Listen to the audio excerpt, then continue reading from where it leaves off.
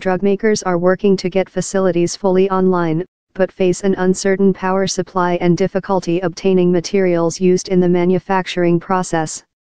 Asked when U.S. hospitals and pharmacies might see shortages as a result, he said, you might see some in the next two or three weeks if there's going to be additional shortages coming out of this situation.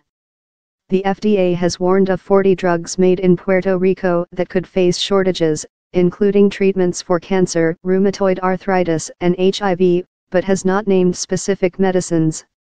Most major drug companies have manufacturing facilities on the island, including Merck & Co., Johnson & Johnson, Amgen Inc., Bristol Myers Squibb Co., Eli Lilly & Co., Pfizer Inc., AstraZeneca and GSK The FDA leader said he wants drug makers to provide the public with more information about the extent of the problems they are facing.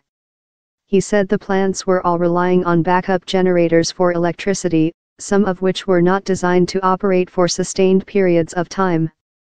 I'm going to ask some of these companies to be a little more transparent around some of these issues, he said, adding that improvements would likely come slowly, with potential setbacks along the way.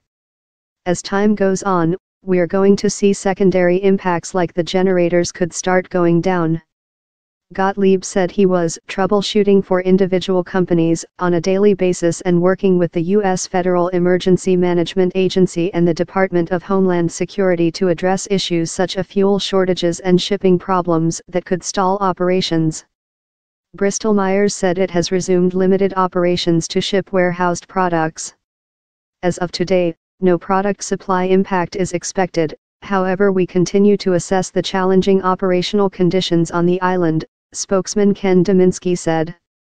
Amgen, in a statement, said it was preparing to resume manufacturing in various plants over the next several weeks and did not anticipate an impact on supply to patients. Merck has one manufacturing facility on the island.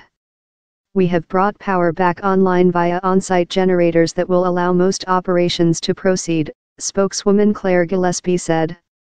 Of the list of drugs being closely monitored by FDA, 14 medicines are sourced solely out of Puerto Rico, Gottlieb said.